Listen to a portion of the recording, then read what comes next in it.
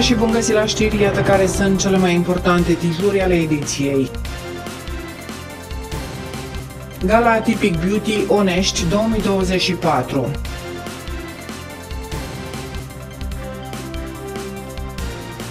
O ursoaică și puii săi capturați și relocați din Slănic, Moldova.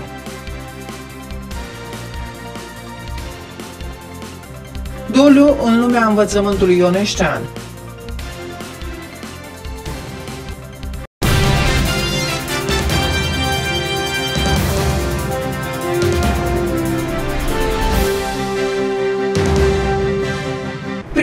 Primăria Municipiului Onești și Asociația Open Your Heart vă invită duminică 28 iulie de la ora 19 în piațeta Catedralei la gala Atypic Beauty Onești 2024 by Magda Coman, un eveniment emoționant care transmite un mesaj puternic. Frumusețea e în noi, nu în aparențe. Duminică 28 iulie de la ora 19 pe scena Atypic Beauty vor urca 12 modele de viață extraordinare în fotoliu rulant care vor defila alături de personalități locale din Onești și nu numai. Scopul evenimentului stă în speranța de a schimba ideile preconcepute și de a arăta societății că verticalitatea, puterea și calitatea unui om nu depinde de modul său de a se deplasa. Atypic Beauty este o pledoarie despre oameni cu motivații puternice, curaj, ambiție, solidaritate și conștientizare. Este un eveniment prin care vrem să vă îndemnăm să priviți omul, nu dizabilitatea sau defectele sale, pentru că în spatele unor aparențe se pot ascunde calități minunate. Totodată, evenimentul este despre neșansa unor oameni ce au ajuns din diverse motive și provocări ale vieții să depindă de un fotoliu rulant. Cu toate acestea, acești oameni au reușit să doboare munți de provocări și obstacole, iar astăzi au multiple realizări și sunt o inspirație pentru toți cei din jur. Este important să trăim pentru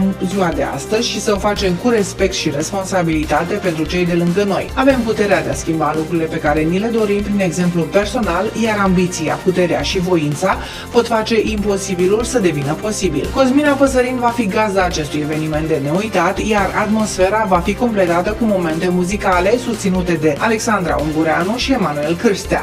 O ursoaică și cei trei pui ai săi, obișnuiți ai pubelelor de la restaurantele din Slănic Moldova, au fost capturați și relocați pe un fond de vânătoare din apropiere. Autoritățile locale au decis această măsură pentru a preveni eventualele comportamente agresive ale animalelor care ar fi putut pune în pericol siguranța turiștilor și localnicilor. Operațiunea de capturare și relocare a fost complexă, desfășurându-se pe o perioadă de 35 de zile. Echipele de intervenție au monitorizat Constantul Soica și puii săi, reușind în cele din urmă să-i tranquilizeze și să-i mute fără incidente. Relocarea a fost realizată în speranța că ursoaica și puii săi nu vor reveni în zonele populate de turiști. Cu toate acestea, la scurt timp după finalizarea relocării, un alt exemplar de urs a fost semnalat în aceeași zonă. În consecință, autoritățile au emis un mesaj de avertizare prin sistemul RoAlert, informând populația despre prezența noului urs și recomandând măsuri de precauție. Decizia de a captura și a reloca urși a fost luată în contextul unor temeri crescânde legate de posibila agresivitate animalelor, pe măsură ce acestea deveneau tot mai obișnuite cu prezența umană și cu sursele de hrană nespecifice. În cadrul unei intervenții a ministrului mediului Mircea Fechet, acesta a discutat despre problema urșilor, dar și despre numărul mare de mesaje RoAlert emise în ultima perioadă.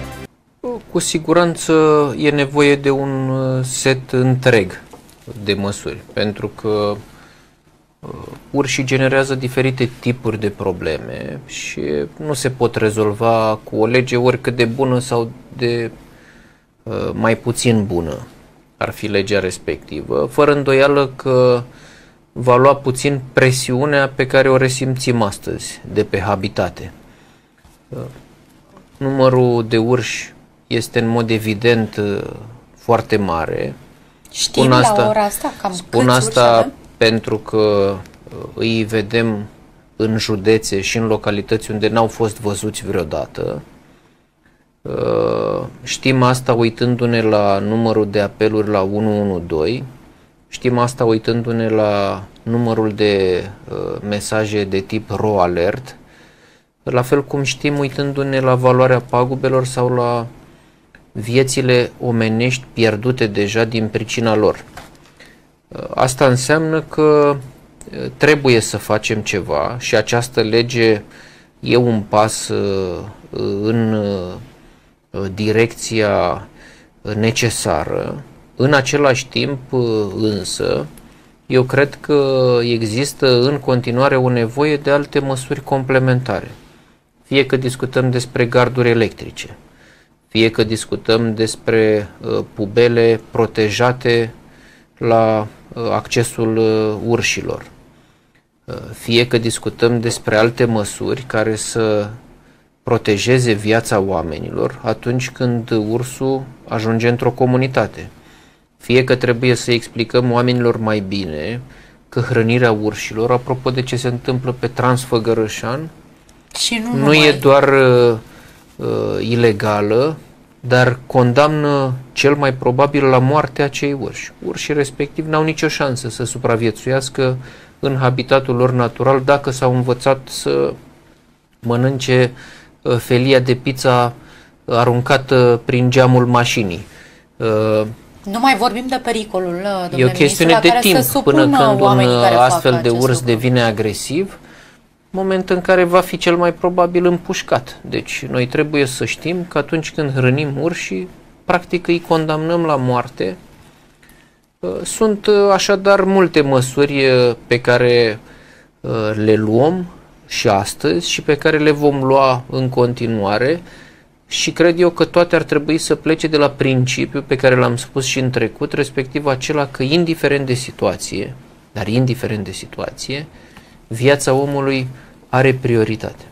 Doliu în comunitatea oneșteană și în lumea învățământului. Profesoara de matematică Lenuța Moldoveanu de la Colegiul Național Dimitrie Cantemir din Onești și-a pierdut viața într-un accident rutier devastator. Incidentul s-a petrecut pe DN11 în localitatea Bogdănești. Autoturismul în care se afla Lenuța Moldoveanu condus de soțul ei a intrat pe contrasân și a izbit frontal un ansamblu rutier. Potrivit informațiilor furnizate de IPș Bacău, soțul profesoarei de 69 de ani conducea mașina pe direcția Brașov către Onești Onești, iar în urma impactului a soțul cât și nepoata profesoarei au fost grav răniți. Toate cele trei victime au fost transportate de urgență la CPU Onești. În ciuda eforturilor susținute ale medicilor, viața Lenuței Moldoveanu nu a putut fi salvată, iar vestea tragică a cutremurat întreaga comunitate. Soțul și nepoata sunt în continuare sub supravegherea medicilor, starea lor fiind gravă. Pe DN11 Onești Târgu Secuiesc, în localitatea Bogdănești, un bărbat de 69 de ani din municipiul Onești, în timp ce conducea un autoturist pe direcția Brașov către Onești ar fi pătruns pe contrasens și ar fi intrat în coliziune cu un ansamblu format din cap tractor și semiremorcă condus de un bărbat de 49 de ani. În urma accidentului a rezultat rănirea trei persoane care au fost transportate la spital. Ulterior, o femeie care era pasager în autoturism a decedat la spital. Ambii conducători auto au fost testați cu aparatul etilotest, rezultatul fiind negativ. S-a întocmit dosar penal sub aspectul comiterii infracțiunii de ucidere din culpă, a declarat purtătorul de cuvânt al IPJ Bacău, comisar șef Cătălina Păduraru. Lența Moldoveanu a fost o figură respectată și iubită în comunitate, dar și în cadrul Colegiului Național Dimitrie Cantemir Nești, dar a lucrat o perioadă și la liceul cu program sportiv Nadia Comăneci. Vestea tragică a trecerii sale în neființă a lăsat în urmă o comunitate profund îndurerată.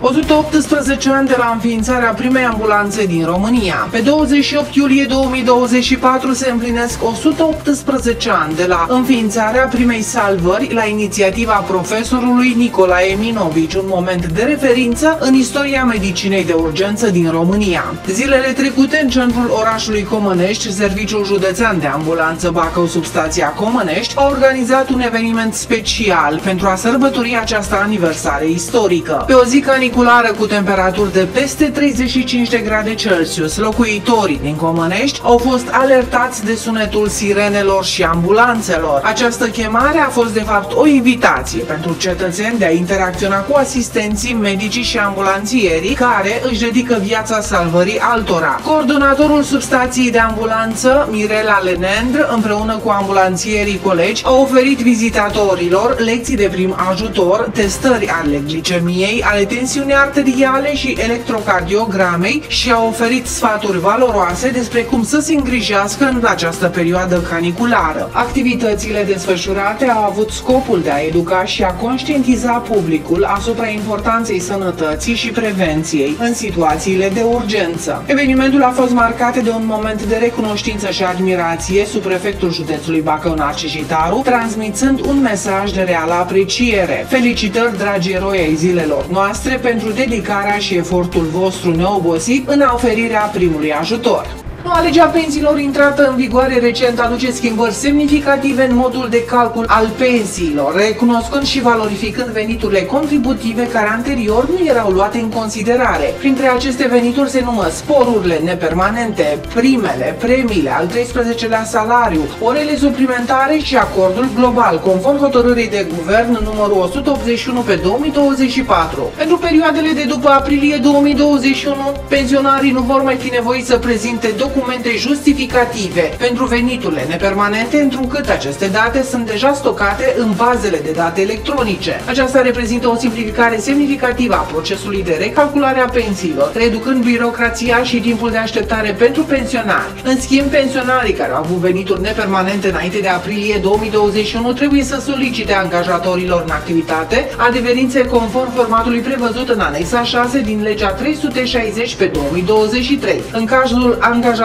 care nu mai sunt activi, pensionarii trebuie să se adreseze deținătorilor de arhive pentru obținerea acestor documente. După 1 septembrie 2024, adeverințele pot fi în continuare depuse la dosarele de pensii fără un termen limită, iar drepturile rezultate din noile documente vor fi acordate cu data de 1 a lunii următoare depunerii. Aceasta oferă flexibilitate pensionarilor în depunerea documentelor necesare pentru recalcularea pensiei. Pensionarii care nu au avut venituri permanente nu sunt obligați să prezinte adeverințe la casele de pensii. Această clarificare simplifică procesul pentru acești pensionari, eliminând necesitatea unor documente suplimentare care nu ar influența calculul pensiei. Recent a avut loc o conferință de presă la CSM Onești în cadrul căreia conducerea CSM Onești, director Ingrid Distrate, director de strategie sportivă Dorina Rădăvaicei, alături de talentata sportivă Ana Maria Puiu, antrenată de Sorin Iordache, au prezentat noutățile. Ea vine și aduce un rezultat extraordinar. Două au fost aici care au fost medaliate. Păi două dintr-o competiție de anvergură. Două care... din nouă. Nouă participante și au Nou, venit cu două două a noastre. medalii. Dar uh, competiția de, de Vorbesc de amploare- români, Nu, de deci români. delegația României. Au venit cu Delegația două României medalii au venit din cu două nouă. medalii din nouă.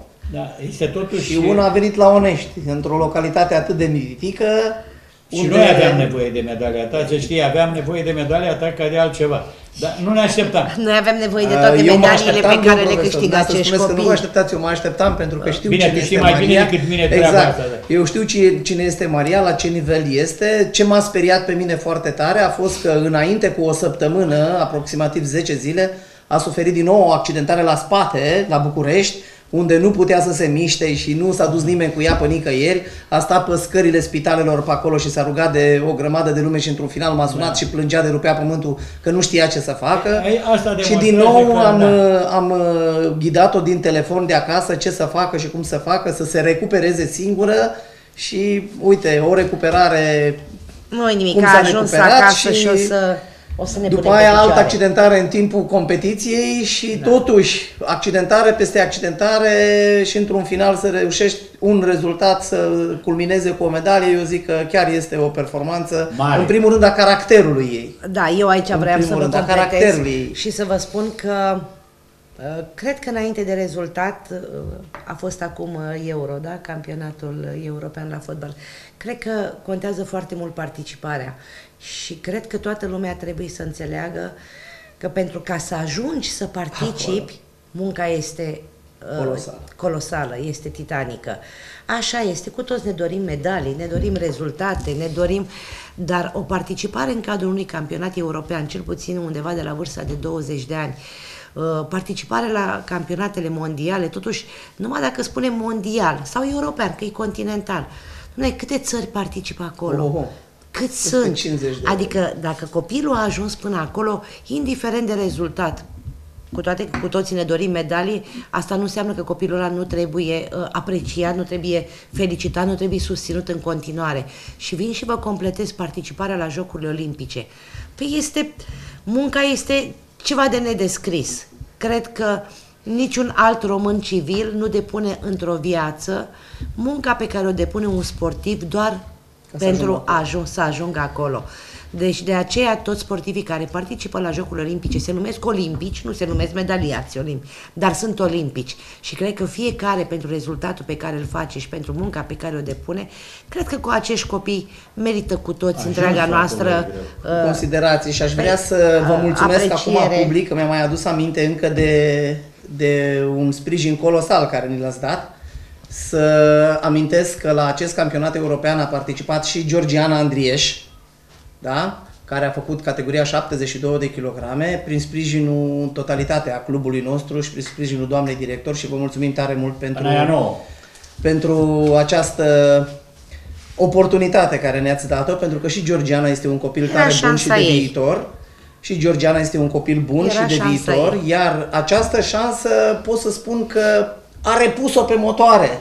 Adică își dorește mai mult, a Da. văzut mai multe, practic a trezit-o, a adus-o cu picioarele pe pământ.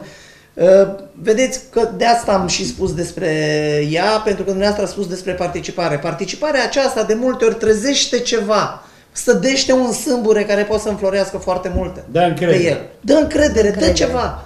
Și de asta au nevoie acest Simți copii. că poți. De încredere și sprijin, de sprijin, din sprijin. spate, Așa e? să-i împingem, pentru Simți că, că poți, până da. la urmă noi nu atâta putem, să-i sprijinim, să-i împingem, restul depinde de ei. Uh, Putem spune că suntem mândri, chiar dacă n-am început anul foarte bine, știu, din punct de vedere financiar, totuși șapte medalii europene până la momentul acesta, uh, câștigate de către sportivii clubului, uh, patru calificări la Jocurile Olimpice, deci se va auzi onești. Uh, În Să pofida- sperăm că de mai mult de patru ori, că vor ajunge să facă și finale, dar zic eu că uh, dintr-un orășel așa de mic, cu un nume greu, da? un nume și cu o moștenire foarte grea. Și să nu uităm că această moștenire ne aparține și trebuie onorată și trebuie să depunem cu toții toate ef- eforturile ca să ținem steagul, steagul sus și aici mă refer la numele Nadiei. Uh, Zic eu că reușim oarecum să ne facem uh, uh, treaba și să dovedim că respectăm ceea ce înseamnă legende, uh, respectăm tot ceea ce înseamnă și a însemnat uh, sportul de înaltă performanță de la Onești și bineînțeles că prin acești copii și cu faptul că peste o săptămână se pleacă la Paris, deci ciclul ăsta olimpic este închis. Deja ne vom așeza la masă și vom gândi strategia pentru următorul ciclu olimpic, unde nu vă ascundem că ne-am propus uh, patru discipline Doamne ajută! la Los Angeles. Să fim sănătoși! Așa, patru discipline, dar am zis să trecem cu bine, să ne bucurăm de momentul ăsta, de toată lumea și ne punem mari speranțe în Mihaela. Uh, Fetele de la gimnastică, Lilia Cosma, chiar am uh, postat acum câteva zile, ea fiind un copil născut în uh, România, dar plecat în Statele Unite de mică, mică cu uh, familia.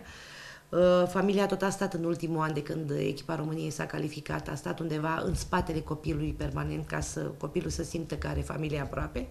Și săptămâna trecută când a ajuns mama în America, care lucrează într-o primărie a unei localități, a găsit uh, în primărie uh, steagul României. Peste tot, cu uh, uh, victoria României și cu baftă echipei României, gândind noi că sunt americani. Și atunci, bineînțeles că emoțiile au fost maxime, am primit imediat pozele de la mama Liliei și m-am întrebat, noi unde suntem? Noi, noi, românii, noi oneștenii, unde suntem? Unde suntem uh, atunci când este vorba să ne susținem acești copii? Unde? Fiindcă nu văd decât uh, și simt energii negative în jur, nu văd uh, un cuvânt bun adresat acestor copii. Da, ei sunt într-adevăr foarte modești. Sunt modești, sunt simpli, sunt copii care se concentrează doar pe ceea ce uh, au de făcut. Nu cred că acești copii trebuie să iasă și să extrapoleze în față, nici cu uh, prezențe știu eu de care pe Facebook, fiindcă nu așa i-am educat noi, uh, fiindcă tot timpul li s-a Trebuie să spus că ținem mai modestia departe este de asta. apanajul omului uh, inteligent, dar cred că cred că ar merita mai multă apreciere și cred că ar merita mai multă recunoaștere. A venit vacanța mare, iar la Biblioteca Municipală Radu Rosetti din Onești s-a dat startul atelierelor de vacanță. Despre ce ateliere este vorba aflăm în minutele următoare chiar de la directorul Bibliotecii Oneștene, Ionut Stenie. Învățăm, ne distrăm, dar mai ales ne petrecem cât mai mult timp în uh, Biblioteca Municipală Radu Rosetti, cea mai digitalizată bibliotecă din, uh, din România. Așa cum uh, spuneai, avem multe ateliere uh, care așteaptă tinerii, îi așteaptă pe copii începând cu luna iulie. În fiecare zi se desfășoară cel puțin două ateliere, dintre acestea aș enumera atelierii micii arheologi, atelierul Animalele Terei, atelierul de public speaking și storytelling este în premieră făcut în această vară de colega noastră Nicoleta Sălbatecu. Avem un alt atelier interesant și nou, se cheamă Cinema la Bibliotecă, care face parte din proiectul național Cinema la Bibliotecă, unde difuzăm uh, uh, filme de scurmetraj cu mesaje motivaționale, atât pentru cei mici cât și pentru adulți. Un alt atelier îndrăgit în anii trecuți de, de cei mici este atelierul de Lego Creație și Joacă, care se desfășoară la Ludotecă, unde împreună cu colegii mei avem pregătit, pregătit saci cu Lego, unde ei se pot dezvolta, pot crea uh, orice își doresc. Important e să vină și, și să vrea acest lucru.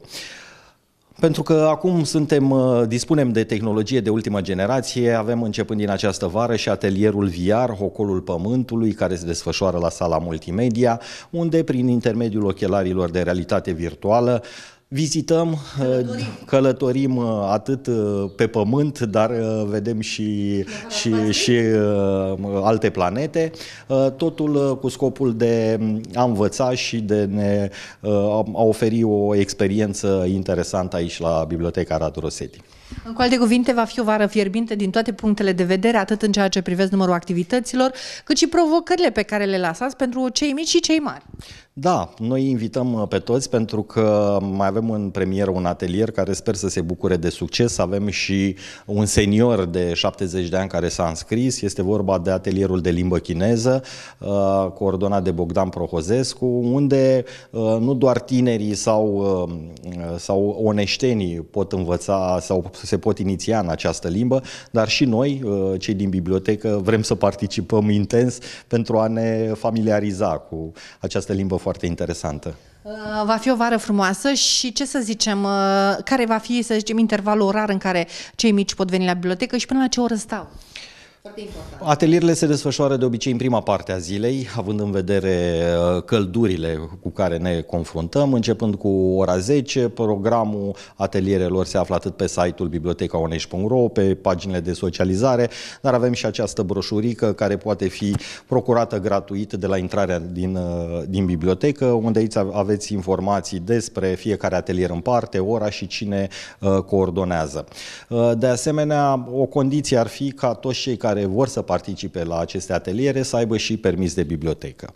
Pentru că, așa mi se pare corect, alături de carduri în portofel să-și găsească, iată, locul și permisul de bibliotecă.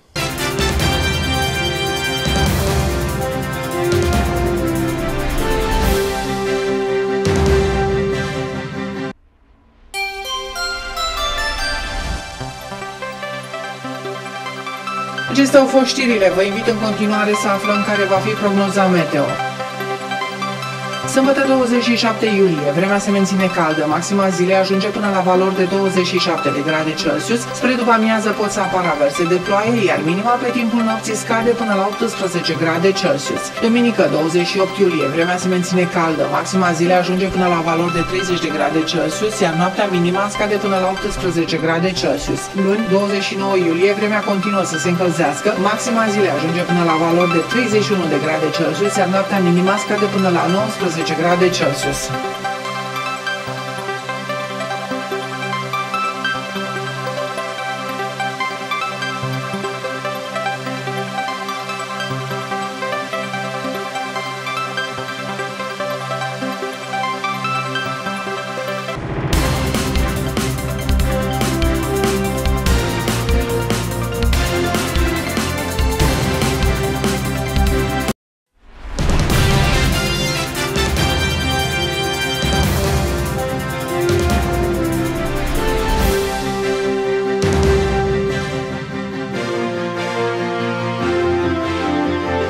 Acestea au fost știrile. Nu uitați, mai multe informații puteți afla acces în site-ul www.acum-tv.ro și ne puteți aprecia cu un like pagina de Facebook Acum TV Kit.